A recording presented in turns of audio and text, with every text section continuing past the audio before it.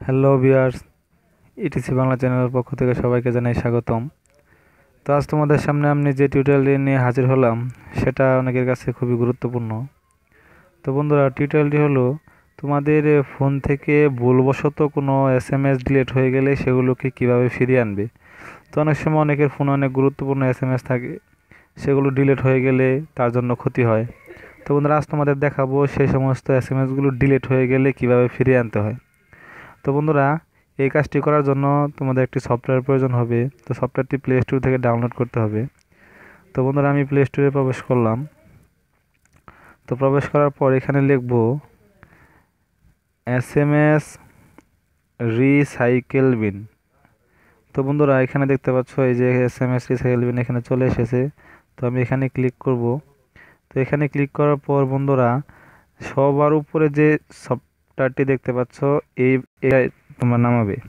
তো বন্ধুরা, এখানে ফোর পয়েন্ট জিরো রেটিং এটা খুবই জনপ্রিয় একটি সফটওয়্যার এবং বহুল ব্যবহৃত একটি সফটওয়্যার তো বন্ধুরা, এখান থেকে সফটওয়্যারটি তোমরা ইনস্টল করে নেবে। তো বন্ধুরা, আমি তোমাদের সুবিধার জন্য সফটওয়্যারটি আগেই ইনস্টল করে নিয়েছি। তো এখন দেখাবো তোমাদের কীভাবে সফটওয়্যারটি কাজ করতে হয়। হ্যাঁ বন্ধুরা, প্রথমে আমরা সফটওয়্যারটির ভিতরে প্রবেশ করব। হ্যাঁ প্রবেশ করলাম। প্রবেশ করার পর এখানে বন্ধু দেখতে পাচ্ছ, এখানে এমটি এখানে কোনো এস এম এস নাই। তো বন্ধুরা, এটি এমন একটি সফটওয়্যার যে এই সফটওয়্যারটি ইনস্টল থাকা অবস্থায় তোমাদের ফোন থেকে যে কোনো এস এম এস ডিলেট হয়ে গেলে ওখান থেকে তোমরা সেই এস এম এসগুলোকে রিকভার করতে পারবে। তো বন্ধুরা, আমি তোমাদের একটি এস এম এস ডিলিট করে দেখাই। এখানে এখানে আমি একটি সফটওয়্যার তো এখানে আমি এই এস এম এসটি তোমাদের ডিলিট করে দেখাবো এবং এটাকে আবার ফিরিয়ে এনে তোমাদের দেখাবো।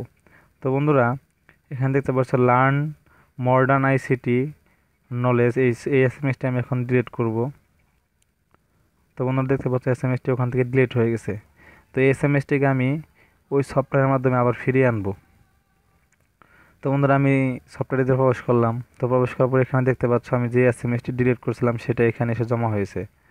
অর্থাৎ এখান থেকে আমি এই এই এস এম এসটাকে আবার ফিরিয়ে নিতে পারব। অর্থাৎ যদি আমাদের ভুলবশত ডিলিট হয়ে যায়, তাহলে এখান থেকে আমরা সেই এস এম এসটি আবার পাবো।